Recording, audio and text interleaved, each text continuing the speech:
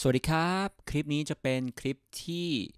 ปรับพื้นฐานการใช้ Ableton Live เบื้องต้นแล้วก็สิ่งที่จำเป็นต้องรู้นะครับ ก็สามารถ Adapt ใช้ได้กับทุกๆ โปรแกรมไม่ว่าจะเป็น FL Studio Cubase Logic Pro Tools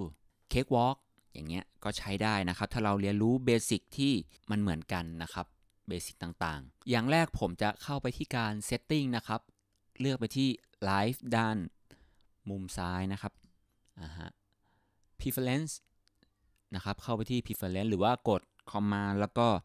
ลูกน้ำได้นะครับ เครื่องหมายลูกน้ำมันจะเข้ามาใน Ableton Live เนี่ย การ setting เนี่ย มันจะมีไม่เยอะนะครับ เห็นไหมอือฮึมีประมาณ 7 หัวข้อใหญ่ ๆ นะครับ อันนี้เราจะมาใน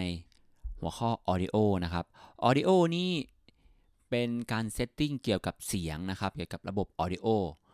ด้านบนนะครับจะเป็นการเลือก Sound Card นะครับ สังเกตได้ว่า Audio Input Device เนี่ย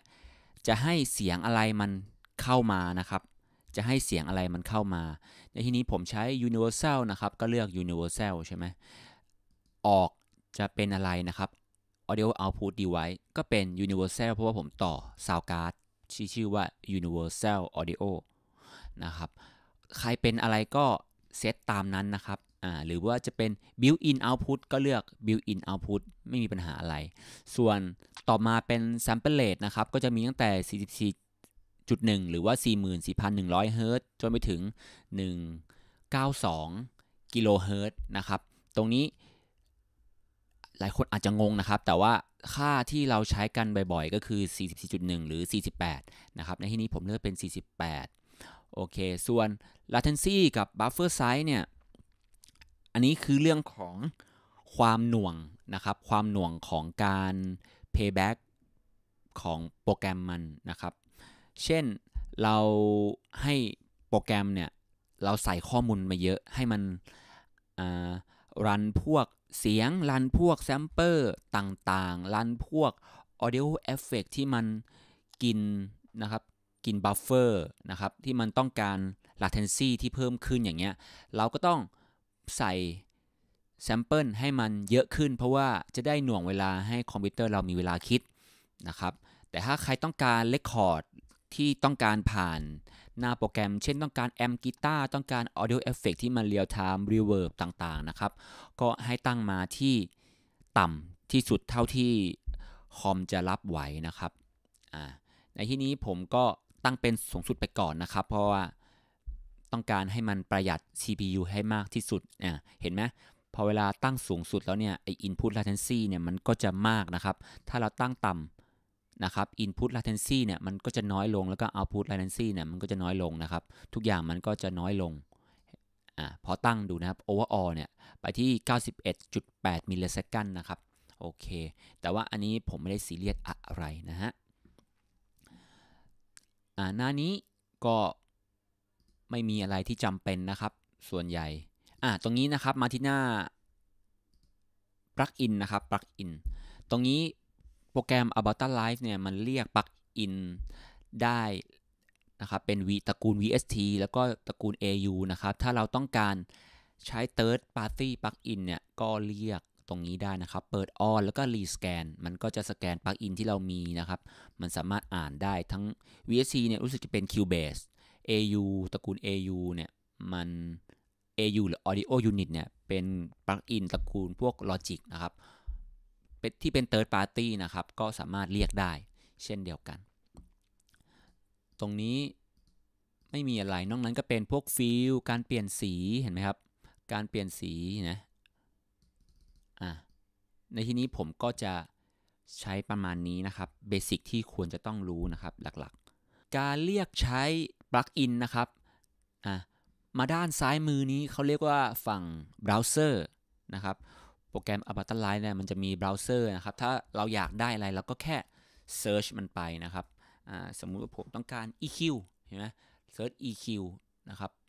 EQ ก็จะขึ้นมานะครับ ก็จะมีหลายตัวเลยนะครับ ให้เลือกใช้ หรือว่าเราจะมาในหน่วยของหัวข้อของ plug-in นะครับ มันก็จะ scope ให้แคบลงนะครับ ว่าไอ EQ เนี่ยเรามีในทั้ง AU ทั้ง VST จะเอาตัวไหนล่ะอ่าฮะโอเคส่วนเบราว์เซอร์เราก็สามารถ search ได้หลายอย่าง เช่นกลอง sample ต่างๆ สมมุติว่าผมเลือกเออเสียง loop มาสักอันนึงนะครับ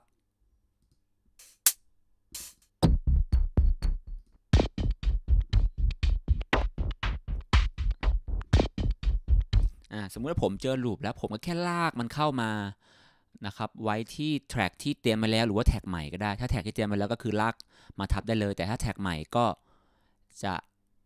ไว้ตรงด้านนอกนะครับ ที่มันนอกเหนือจากแท็กมา เห็นไหมมันก็จะสร้างแทร็กที่ 5 มาให้ผมแล้วโอเค คราวนี้ลองไปฟังกัน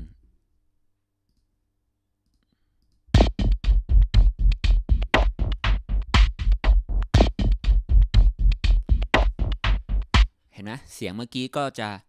เข้ามาอยู่ที่ track เราแล้วใน a b a t a l i g h t จะมีอยู่ 2 หน้าหลักๆนะครับ หน้าที่เราอยู่นั่นคือหน้า Arrangement View นะฮะ ส่วนอีกหน้าหนึ่งเขาเรียกว่าหน้า Session View เราสามารถเปลี่ยนได้โดยการกด Tab นะครับ กด shortcut กดคีย์บอร์ดเนี่ยที่ Tab ปึ๊บ มันจะเปลี่ยนเป็นหน้าเขาเรียกว่า Session View นะครับ หน้านี้จะเป็นหน้าที่เอาไว้เล่นพวก Live Loop ต่างๆ แต่ว่าเรา จะใช้หน้า arrangement view นะครับในการทำเพลงสักส่วนใหญ่นะครับ เพราะว่าจะได้ adapt เผื่อคนที่ใช้โปรแกรมอื่นด้วยอะเราไปสำรวจเครื่องมือด้านบนกันบ้างนะครับนะครับ หลักๆแล้วด้านบนเนี่ย มันจะมีเมทานอมนะครับ หรือแท็บเราสามารถแท็บเทมโปได้เมทานอมเนี่ย เราเปลี่ยนเทมโปตรงนี้นะครับ อ่าสไลด์ไปได้เลยหรือว่าเราสามารถพิมพ์ได้นะครับ คลิกหนึ่งทีแล้วก็พิมพ์เลขอะไรที่อยากพิมพ์สมมุติว่าพิมพ์ 130 ไป มันก็จะขึ้น 130 นะครับอ่าฮะ200อ่าก็จะเปลี่ยนเป็น 200 นะครับ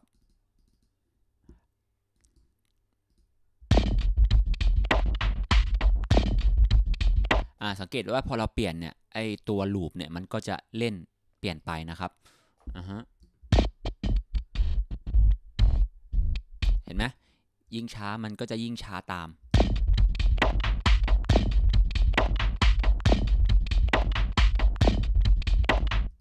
อะ ผมตั้งที่ 120 เหมือนเดิมละกัน คราวนี้การเปิด metronome นะครับ ให้คลิกที่ตรงนี้นะครับ เห็นไหมปุ่มตรงนี้ Ableton Live เนี่ยมันจะมีการสอนอยู่ในตัวนะครับ เราสามารถกดปุ่ม ซ้ายล่างตรงนี้นะครับ แล้วก็เอาเมาส์ไปจิ้มเนี่ย มันจะบอกว่าเออคืออะไร อันนี้คือการเปิดปิด metronome นะครับ การ activate นั่นเองนะฮะ ถ้าผมเปิดตรงนี้แล้วเวลาเล่นเนี่ย มันจะมีเสียง metronome ออกมาด้วย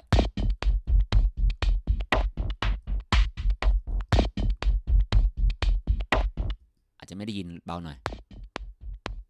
เห็นไหม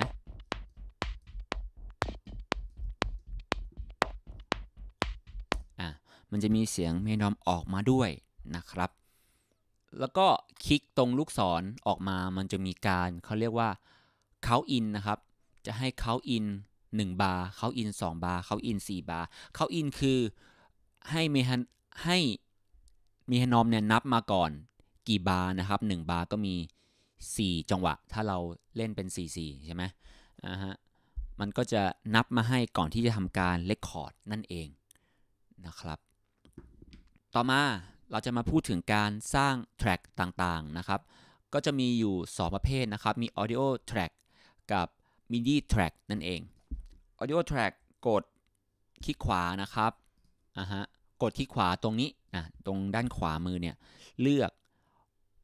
insert audio track หรือสามารถกด shortcut โดยกด command T อะฮะก็จะมา เป็น audio track audio track เนี่ยเอาไว้อัดพวกเสียง audio นะครับ เช่นเสียงร้องเสียงกีตาร์อะไรที่ต้องอัดผ่าน audio interface เนี่ย หรือสามารถวาง sampler เป็นพวก dot wave นะครับ เป็นตระกูลแบบ wave นี่เป็นตระกูล audio file นะครับ ก็วางได้พวก sampler ต่างๆ ไปหามาสักหนึ่ง sampler สิ อะสมมุติว่าผมเอา sample นี้นะครับ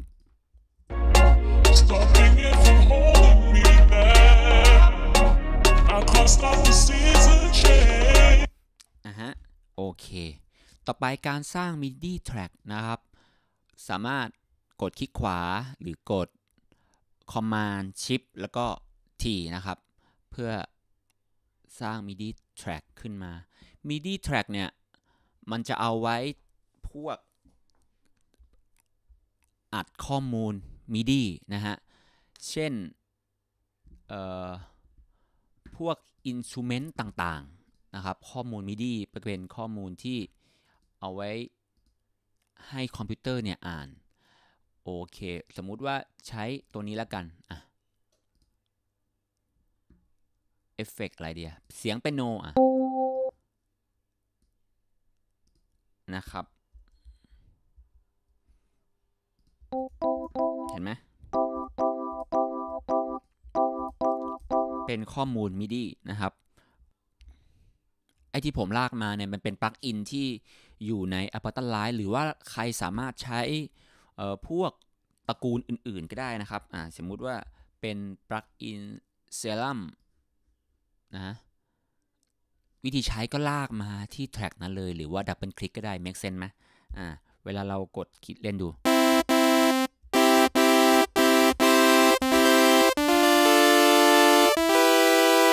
เห็นไหมครับ ค่อนข้างที่จะง่ายนะครับ เวลาจะ insert plug-in ขึ้นมาก็แค่ search แล้วก็ลากลงนะครับ โอเค ถ้าเราไม่ต้องการก็กดที่ plug-in ตรงนี้นะครับ มันจะมาโชว์ข้างล่างเห็นไหมถ้ากด track นี้มันจะโชว์ว่าใน track เนี่ยมีเอฟเฟกอะไรบ้าง ถ้าเจอก็ถ้าไม่อยากไม่ชอบก็ลบนะครับ แล้วก็เปลี่ยนใหม่ สมมุติว่าอันนี้อะ double click อ้าวไม่เจอ plug-in อะไรนะครับ เพราะว่ามันเป็น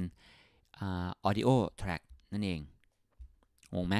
หรือเราต้องการจะเขียนโน้ตนะครับใน MIDI track นะครับ กลับมาที่ MIDI track เราก็ลากนะครับ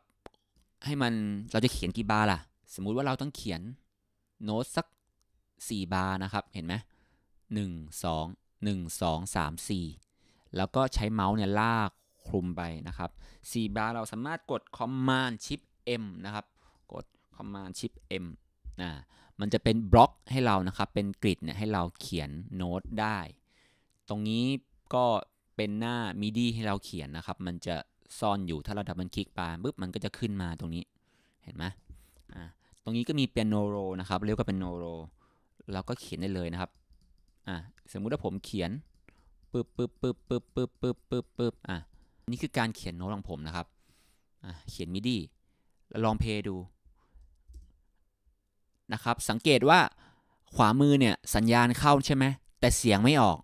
เพราะว่าอะไรเรายังไม่ได้ใส่ป้อนคำสั่งเสียงมัน เรายังไม่ได้ใส่ เอ้ย มันมีแค่ข้อมูล MIDI นะครับ มันเบามากข้อมูล MIDI เนี่ยมันต้องเล่นผ่านเสียงต่างๆที่เรามีนะครับ สมมุติว่าไปที่ Instrument ใหม่ของ a b a t o n ใช้อะไรดีอะอ๋อมันเล็ด สุ่มสักเสียงหนึ่งลองเพย์ดูนะครับ เห็นไหม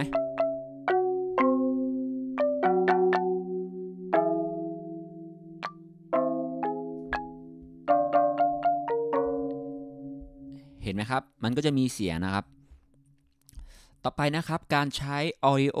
effect ต่างๆ ให้เรามาดูที่ตรงนี้นะครับ มันจะมีหมวดที่เขียนว่า audio effect นะฮะ สมมุติว่าผมกลับไปที่แท็ก audio นะครับ แท็กนี้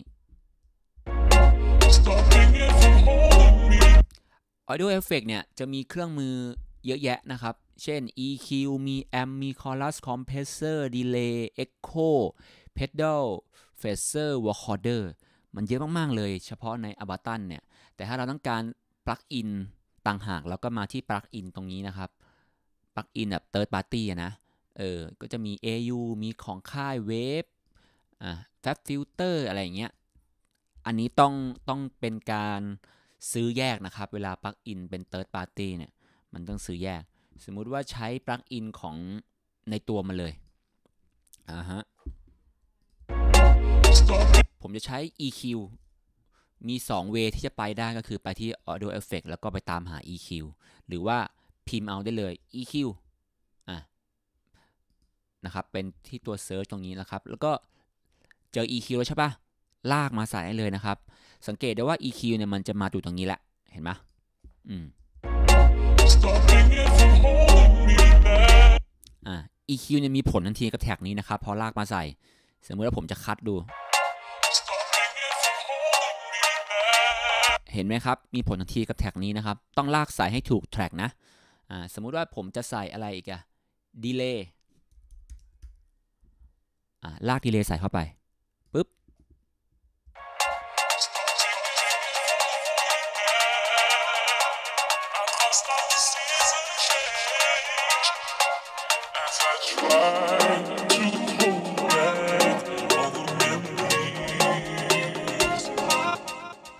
ต่อไปนะครับเราจะไปที่การ insert พวก aux ต่างๆ นะครับนะฮะ aux เนี่ยก็คือเราจะส่งสัญญาณไปอีกที่หนึ่งนะครับ เพื่อช่วยให้การมิกซ์ของเราเนี่ยมีสีสัน การทำเพลงเราเนี่ยมีสีสันมากยิ่งขึ้น เช่น ผมจะส่งเสียงร้องไปที่ reverb นะครับ แทนที่ผมจะใส่ reverb ไปในตัวเลย เพราะว่าถ้าผมใส่ reverb ไปในตัว track ร้องเนี่ย ผมจะมา EQ ต่างๆเนี่ย มันจะเกิด โทนของร้องเนี่ยมันจะเปลี่ยนไปนะครับ แค่ต้องการ EQ แค่ reverb เนี่ย แต่โทนของร้องมันจะเปลี่ยนไปด้วยถ้าใส่ reverb ใน track ร้องนะฮะ ผมก็เลยใช้เทคนิคนะครับ มันก็เลยมีเทคนิคพวกการส่ง นะครับไปที่ออกออกหนึ่งนะครับแล้วก็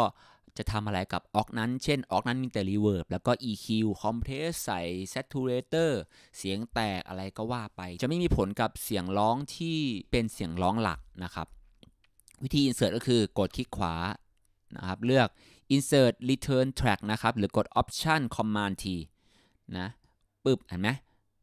return มันก็จะมาละเซิร์ฟอีกอ่า return ก็จะมา insert เข้าไปอีก return ก็จะมาเรื่อยๆนะครับ อันนี้เป็นช่องเปล่าๆนะ ยังไม่ได้ใส่อะไร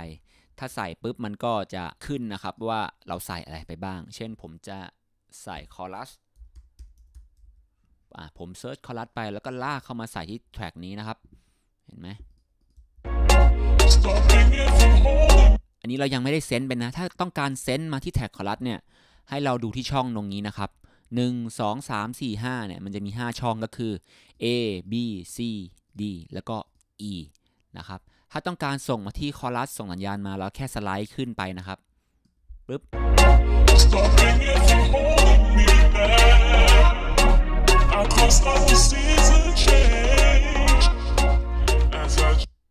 เห็นไหมโดนคอรัสแล้ว หรือว่าอะยังไม่ชัด ส่งมาที่ reverb อีกทีหนึ่งก็ได้ เห็นไหมมี reverb ละ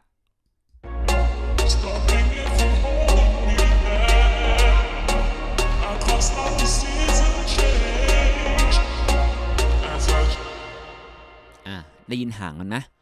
นี่นะครับก็เป็นเทคนิคการ send return นั่นเองนะครับ และเราก็จะมาทำอะไรหลังๆ ไอ้พวก reverb เนี่ยได้เลยโดยที่ไม่มีผลกระทบต่อ dry signal นะครับ ต่อไปการลบ track นะครับ ก็ง่ายมากกด delete track ที่ไม่ต้องการนะครับ คลิกที่ตรงนี้ delete track ที่ไม่ต้องการอะเหลือไว้แค่2 tag เป็นตัวอย่างให้เรา ต่อไปจะมาสำรวจที่หน้า mixer นะครับไอ้ mixer เนี่ยก็คือการผสมเสียงใช่ไหม mixer คือการผสมเสียงเหมือนพวก mixer ของเหล้าอะไรเงี้ยก็คือการผสมน้ำกับโซดา กับเหล้ากับอัตราส่วนต่างๆ ให้มันเข้ากัน mixer ก็คิดเช่นนั้นได้เหมือนกันนะครับ ตรงนี้นะครับเป็น volume ใช่ไหมครับ ถ้าผมลดไปมันก็จะไม่มีเสียงเกิดขึ้นลองฟังดูนะฮะ เห็นไหมถ้าสไลด์ขึ้นมาก็จะเริ่มมีเสียงแล้ว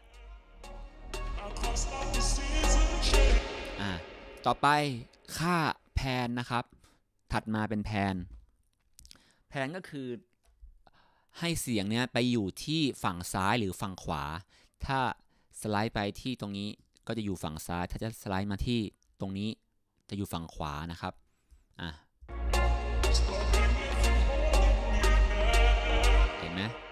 มาซ้ายแล้วอะปิดเซนต์ก่อนจะได้ไม่งงนะครับ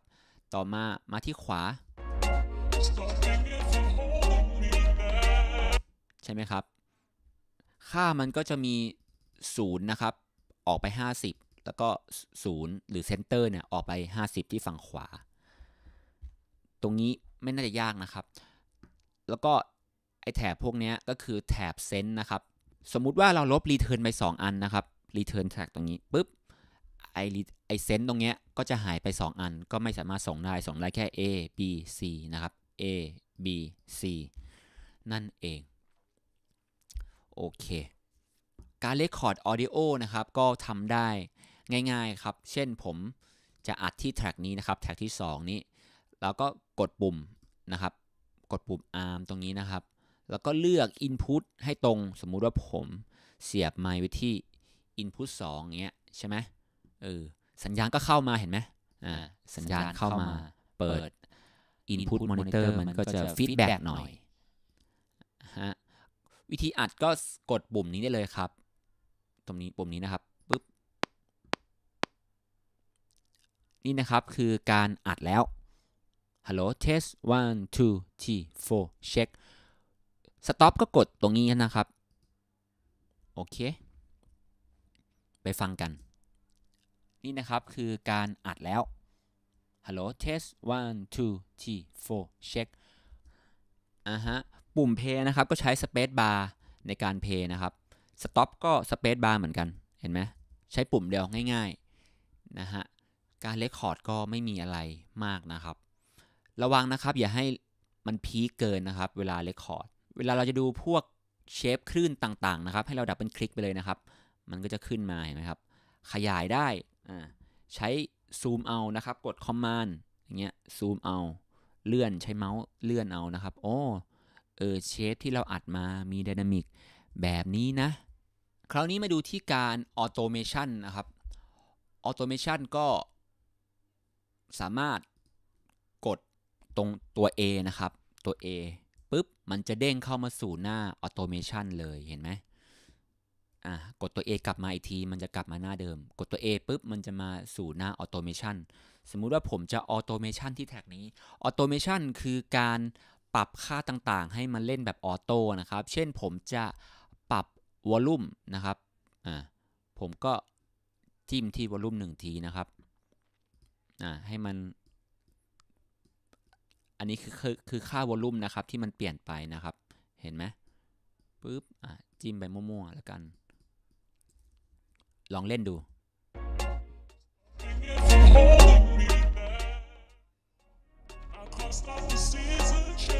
เห็นไหมครับ ค่า volume เนี่ยมันจะทำตามเล่นตาม automation ที่เราได้เขียนไว้นะครับ ถ้าไม่เอาก็กด delete automation เข้าไป หรือเราต้องการไปกำหนดควบคุมตัว pan นะครับ ก็คลิกที่ไอ ปุ่ม pan เนี่ย แล้วก็เลือก show automation นะครับ มันก็จะโชว์ automation ของ pan มา เทคนิคนะครับ กดคลิกขวาเนี่ย มันจะมีเชฟให้เลือกนะครับ สมมุติผมต้องการเชฟนี้อ่าเชฟนี้อ่าใช่ไหมครับ เราก็กด Command C นะครับ เพื่อ Copy แล้วก็ไปวางที่ต้องการได้เลยนะครับ เหมือนกัน Command C แล้วก็ Command V ไปวางที่ต้องการให้มันเป็นเชฟนี้ หรือกด Command D ก็ได้นะครับ ถ้าเราครอบไปอย่างนี้ใช่ไหมกด Command D เนี่ยมันจะเป็นการ duplicate ไปในห้องต่อไปนะครับ เช่นอย่างนี้เห็นไหมครับ กด Command D ไปเรื่อยๆ มันก็จะ duplicate ไปแล้ว ใช่ไหมครับอ่าฮะหรือกด Command Z นะครับ ก็เบสิกเหมือนกับทุกๆโปรแกรมนะครับ คือ Backup นั่นเอง เห็นไหมอ่า Command Shift Z ก็ เป็นการ Re-undo นะครับ ลองเพย์ดูนะครับ ผลที่ได้เป็นยังไง กด Space Bar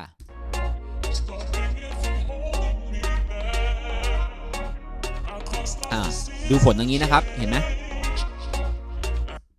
ไอ้ค่าแพนเนี่ยมันก็จะสลับซ้ายขวาซ้ายขวาตามที่เราได้เขียนไปนะครับ ด้านบนเนี่ยคือขวาด้านล่างคือซ้ายนะครับ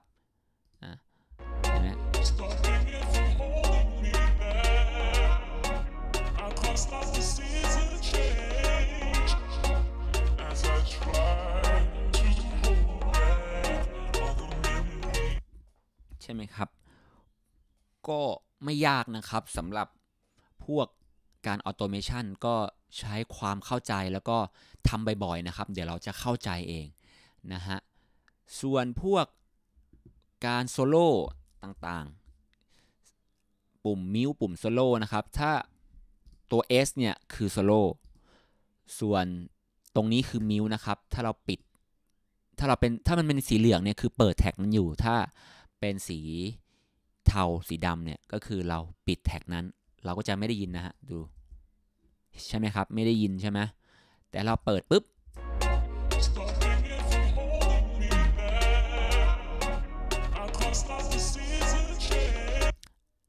อ่าแล้วก็การโซโล่ใช้ยังไง สมมุติว่าผมมีแทร็ก2แทร็กซ้อนกัน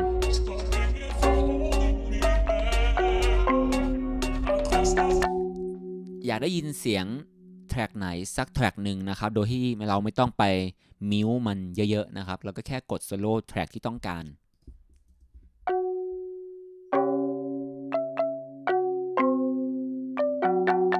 อ่านะครับก็ช่วยในเวลาเราต้องการมิกซ์หรือต้องการดีไซน์เสียงในแทร็กนั้นๆนะครับ โอเค และนี่ก็เป็นเบสิกนะครับในการใช้โปรแกรม a b a t a Live แบบ รวดเร็วนะครับ ผมเชื่อว่ามันเป็น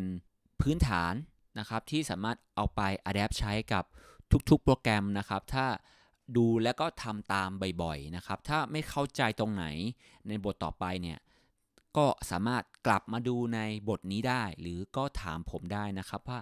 ตรงไหนไม่เข้าใจนะครับ